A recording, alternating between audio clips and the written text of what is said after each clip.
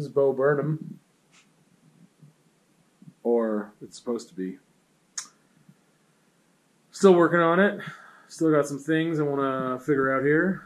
Um, this old picture of Bo Burnham. It's funny just because I had that reference photo after rewatching the first or second special, but I didn't start drawing it and working on the art until after I had seen Inside. And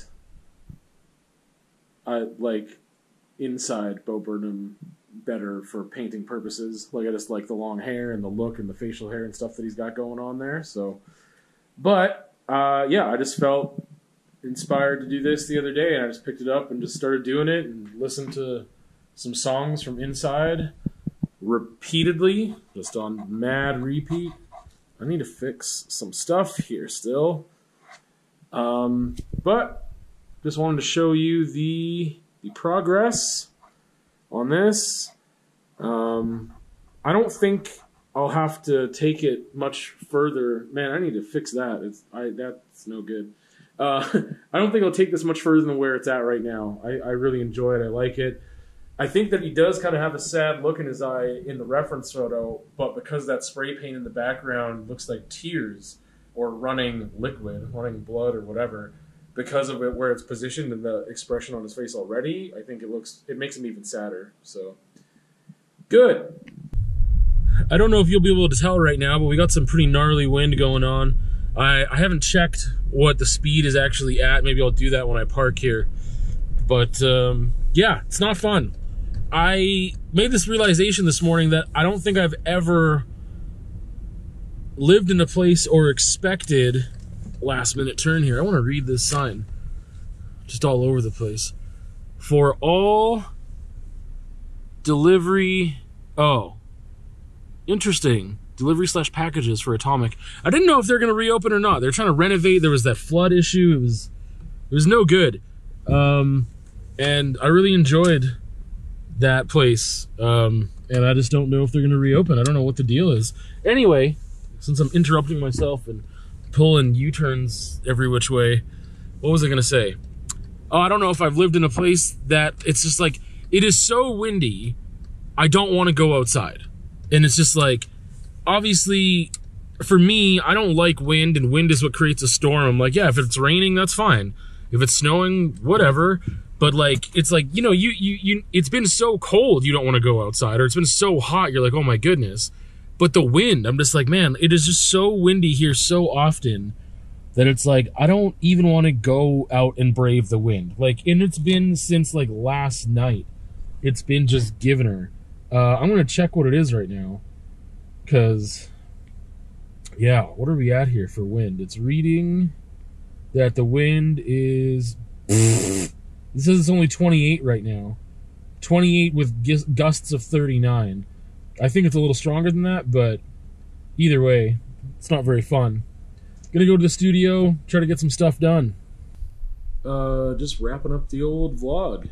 Um, work, started that new job.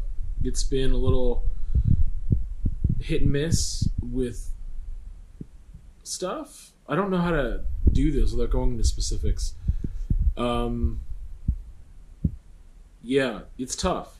It's tough to not get into specifics with this, but I think I mentioned before, um, it's, it's doing like support of folks with complex needs, and that means a lot of different things. But uh, yeah, I haven't worked a lot since I started. I've had like four available days, and I've only worked one of those days. Um, but that wasn't up to me, and I'm getting paid for that, and that feels really weird, and it feels almost insecure. It feels like I don't know, and yeah, there's just some things I got to figure out. There's some things I got to figure out with it on on what to do with a certain amount of inconsistency, and just trying to figure things out. Um, yeah, I guess we'll we'll see what happens with that. Uh, only other video this week is a conversation that I had. What did I have my conversation about? Uh, I had a conversation. That is not the right app. Um, about. Oh yeah, I watched this film last week, um, "Minding the Gap," and it was like a documentary, and I talked about that, and also the importance for like art making, for just like if you imagine if everyone in their life got to do a documentary and got to interview their family and friends and stuff, and how much they would learn about themselves, and yeah, so uh, I did a conversation on that and talked about the film a bit and how it inspired the conversation. So that's pretty much it. I don't have a lot else to say right now.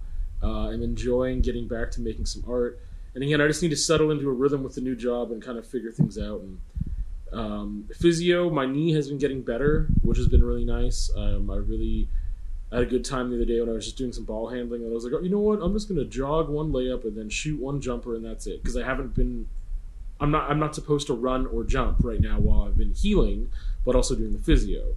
And so I just did one of each. I made them both, and it felt really nice. And then I just stopped. And that's the thing. It was like teaching me this balance of like, it's not about just doing. I don't know. It's like being okay with that versus my natural thing is like, ah, that felt good. I want to do more. Rather than being like, yeah, that felt good. Okay, I'm not going to push it. I'm going to walk away. That's really difficult for me. So it was kind of nice to have that moment um, I think that's really all I got to say for this week. It's yeah, in a state of transition with the job, so I'm gonna hopefully soon I'll I'll feel like things are more secure, but uh, we'll see.